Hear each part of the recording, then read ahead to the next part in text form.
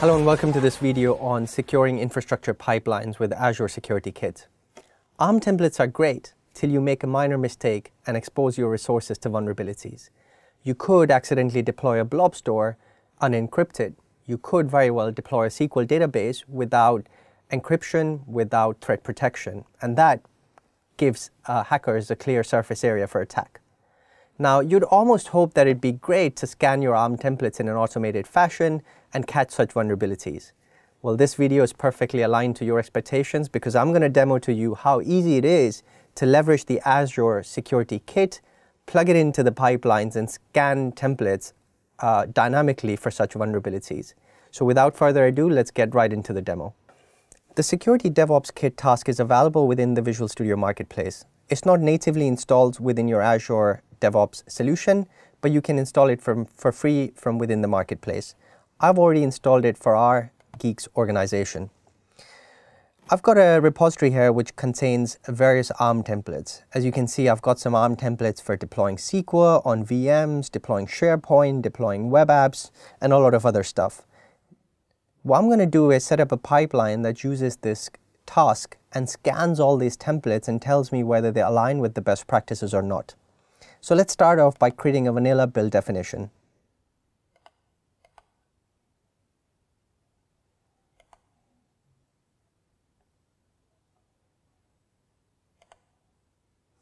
I'm going to create an empty job and then start off by adding the ARM template checker task. As the task uh, tells you right from its name, the intention here is for this task to scan any ARM templates that you throw at it. So I'm going to map my um, repository parts unlimited lab, which has all the templates. I have to specify the folder path where the templates are. are I'm going to select the root folder, which is templates. Now you have some options to exclude files, include certain files, but I'm going to leave it at that and run with the defaults.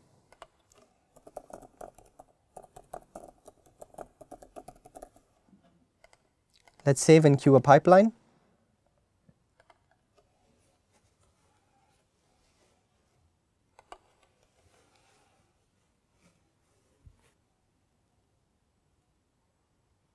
As you can see, the Azure Security Kit's task is being executed and it's scanning the infrastructure templates to see if there are any vulnerabilities. And as it scans through the templates, it's identified certain vulnerabilities, therefore it's failed the build. Now we can click in the task to get to the level of detail. Alternatively, we can download the log files and look at a CSV report which would tell us all the shortcomings and the possible resolutions uh, to remediate the shortcomings.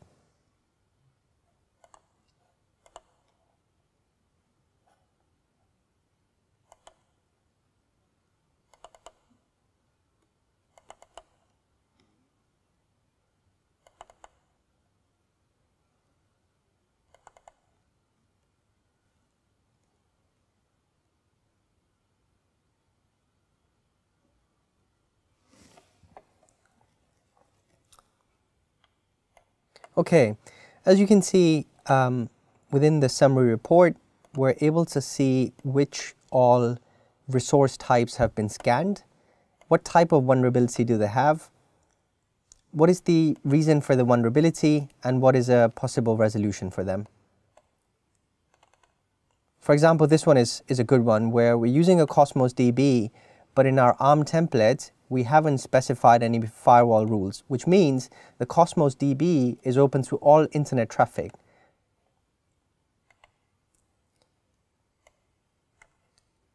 Another interesting one is Azure App Service. We're deploying an instance of the Azure App Service without any auditing on logging enabled. Again, this is a, this is a medium risk item, uh, but one that is fairly easy to mitigate.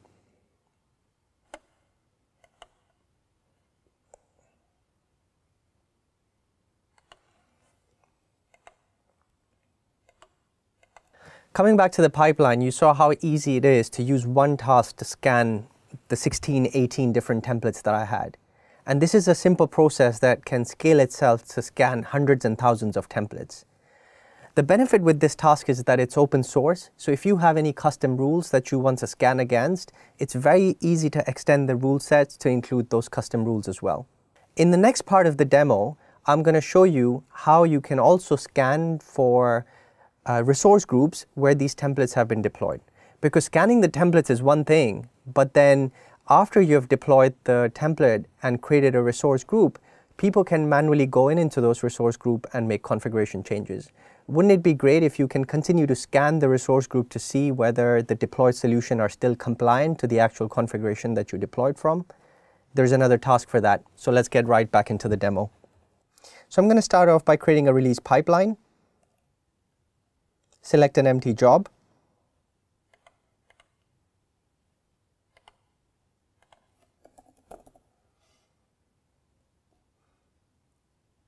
and select the Azure Security Kit Security Verification ta Test task. As I come into this task, I have to select an Azure subscription against which I want to run the analysis scan.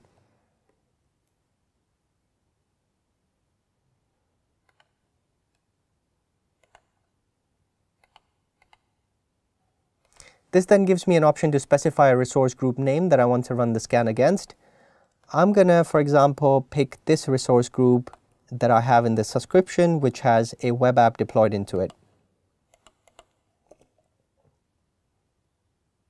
And I also have to specify the subscription ID of the Azure resource uh, group resides in.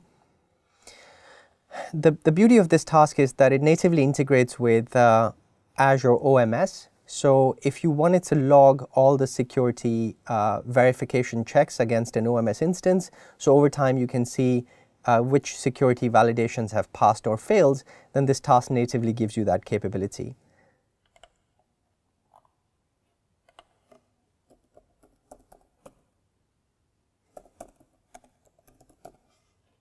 All right, let's trigger a new release and see this pipeline in action.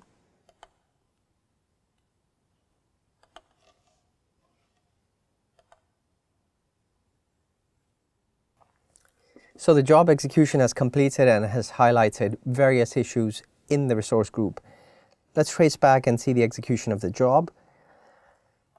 As we can see, it's scanning the app service instance and has summarized its findings into total 14 medium-level issues, 5 high-level issues, and 1 low-level issue. As we scroll down, we can see that the app service is missing some of the fundamental security features that need to be enabled. Let's download the logs and review the results.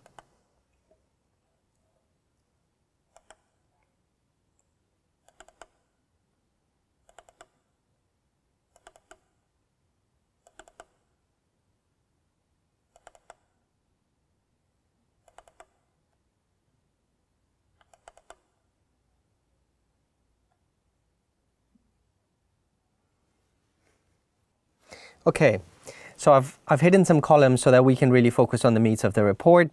As you can see, this is the control set that it's scanning against. This is the feature that it's scanning for. And this is the severity it would class the incident as. And here's the description of what it's scanning for. Now, as we can see, we don't have any custom SSL binding configured against the app service. We have remote debugging turned on for this um, app service instance. We have uh, no uh, always on configured. We haven't disabled uh, WebSockets. And, and these are sort of vulnerabilities that can be heavily exploited. Now, the benefit with this task is that it supports fixing some of these issues by itself. And these are highlighted in this column here. So should you run this task in a corrective mode, it's able to actually identify the issues and fix them for you as well. But nevertheless, you know, in, in principle, being able to discover the issues in the first place is a good win, and then being able to work through the implementation of fixing them is the natural next step. As we talked about before, security cannot be an afterthought. Security cannot be a separate department. Security needs to be baked into your delivery lifecycle. The responsibility of security lies as much with the security teams as it lies with the developers. By using these intelligent tools like Azure Security Kit, we can empower the developers to implement security scans and security remediations right from the outset. I hope you found this video useful and will take the learnings from this and apply them in your own real projects.